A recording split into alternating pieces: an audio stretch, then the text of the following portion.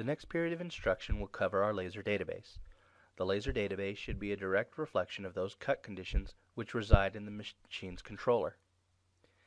Using these settings, we will adjust for auto tool settings according to size, as well as creating beam offset or kerf compensation with the settings.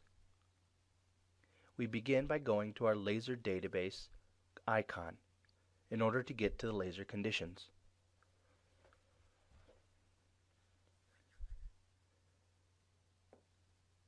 Note the different material types and sub-thicknesses within each material.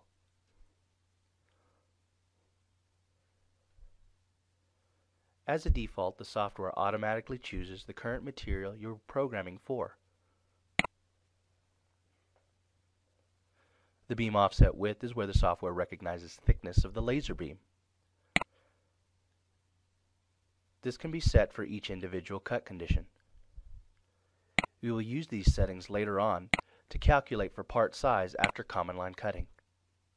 The beam offset number is where the software chooses the D offset number that appears in your G code. This too can be set individually for each cut condition.